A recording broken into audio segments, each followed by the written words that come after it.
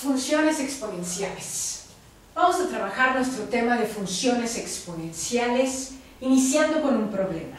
Te voy a poner un problema que le voy a llamar el problema A y vamos a tener una colonia de bacterias. Estas bacterias inicialmente son 15 y se están reproduciendo.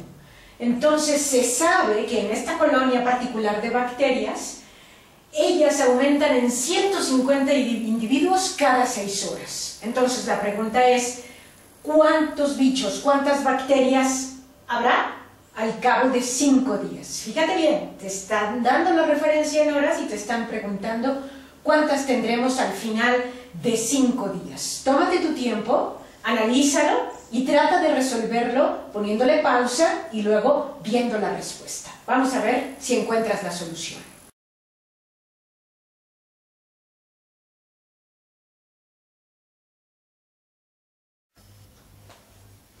Vamos a ver la respuesta al problema A.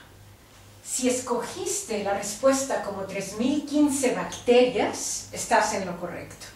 Vamos a ver por qué, cómo fue la mecánica para la solución. Fíjate bien, se trata de un modelo lineal. ¿Por qué? Porque a incrementos de horas iguales, incrementos de bichos iguales. Cada que el reloj avanza 6 horas, vas a tener 150 bichos más. El reloj avanza otras 6 horas y tú vas a tener otros 150 bichos. A incrementos de tiempo iguales, incrementos de bacterias iguales. ¿Esto qué quiere decir? Que si nosotros tenemos 150 bacterias cada 6 horas, vamos a tener 25 bacterias por hora. Al hacer la división nos queda 25.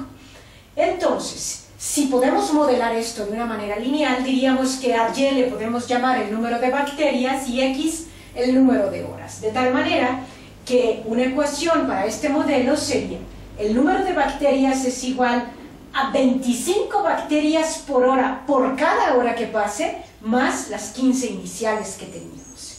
¿Te late? O sea, tenemos 15 bichos más lo que se incremente cada hora. Y si se incrementan 25 por hora, lo multiplicamos por el número de horas y tendremos el total. Fíjate bien, si nos estaban pidiendo en 5 días, ya tenemos la referencia a bacterias por hora, que es 25, entonces podríamos decir que hay 24 horas en un día y lo multiplicamos por 5 días, vamos a tener el total de horas, ¿no? Entonces 24 por 5 nos va a dar 120, ese 120 venimos y lo insertamos aquí en el número de horas, porque por supuesto son horas, ¿sí?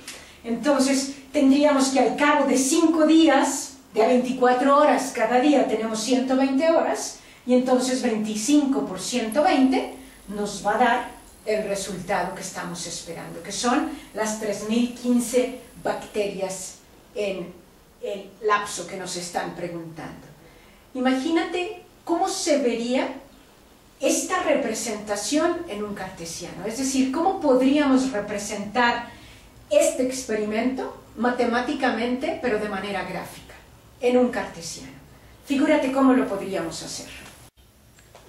En un cartesiano tendríamos primeramente que escoger cuál es la variable independiente, ¿no? Estamos hablando de que hay dos variables, el número de bacterias y el número de horas que han transcurrido. Aquí hay que decidir quién es la variable independiente. El número de bacterias depende del tiempo que ha pasado o el tiempo que pasa depende de cuántas bacterias hay. Si dijiste que para el eje X vamos a escoger las horas, estás en lo cierto. Las horas son la variable independiente y el número de bacterias sería la variable dependiente, ¿no? que es la que vamos a poner en Y. Entonces, si han pasado 0 horas, vamos a tener exactamente 15 bichos. ¿no? Después, por cada hora que pase, por cada hora que pase, se nos va a ir incrementando la población en 150. Voy a romper aquí un poquito la escala ¿sí? Y vamos a decir que por cada hora que pase tenemos 150 bichos más y por cada hora que pasa tenemos otros 150 bichos más. Y así te la llevas, vamos a decir que incrementos de tiempo iguales tenemos incrementos de bichos iguales. Entonces tendríamos una recta, una recta cuya pendiente, estaríamos hablando de que la pendiente es de 25 bacterias por hora. ¿De acuerdo? Esa sería la representación gráfica de nuestra situación A o problema A. Vamos a tener ahora, continuando nuestro tema de funciones exponenciales, otro problemita, otro desafío para ti. Ahora vamos a tener un experimento B y en él vamos a tener otro tipo de bacterias, aquí te las puse como más aguzadas, ¿sí? Y estas van a ser las mismas bacterias iniciales, es decir, vamos a tener 15 bacterias, pero ahora la población se sabe que se triplica cada hora. Es decir, si tú empezaste con 15, al pasar una hora ya tendrás 15 por 3, es decir, 45 bacterias al cabo de una hora. Ese 45 lo multiplicas por 3, si no me equivoco te va a dar 135 y esa será la población después de la siguiente hora. Entonces la pregunta es, ¿cuántas tendrás al cabo de 12 horas? Piénsalo bien y escoge tu respuesta con cuidado.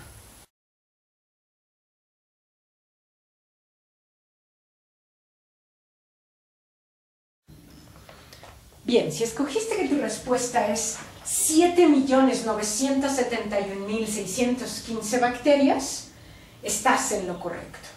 No sé cómo lo hiciste, no sé si hiciste un modelo matemático, que sería lo más correcto, o si lo hiciste por medio de una tabla en donde te fuiste multiplicando por 3 durante 12 veces, 12 periodos, hasta llegar a la cantidad exacta que fue 7.971.615.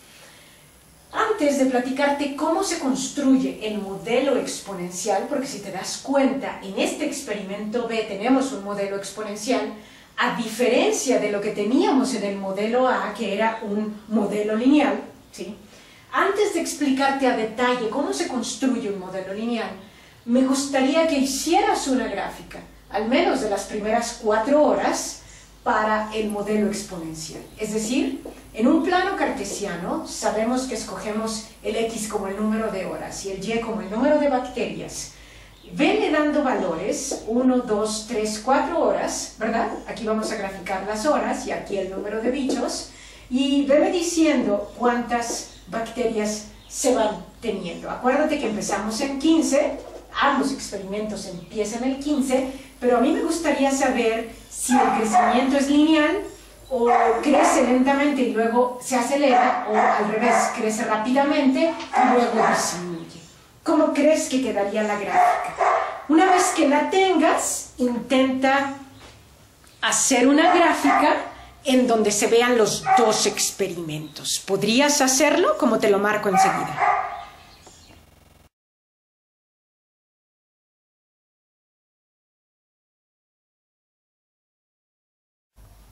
Si ya tienes tu gráfica, si ya construiste tu gráfica como te lo piden las instrucciones, ahora trata de visualizar en qué momento, cuántas horas habrán pasado para que tú tengas el mismo número de bichos en ambos experimentos. Acuérdate, en el experimento A crecemos 150 individuos cada 6 horas y en el experimento B la población se triplica cada hora.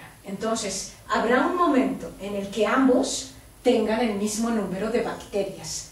Podrás, podrás imaginar cuándo, a través de tu gráfica, no trates de hacerlo todavía de manera analítica, a través de tu gráfica podrás imaginar en qué momento sucede eso.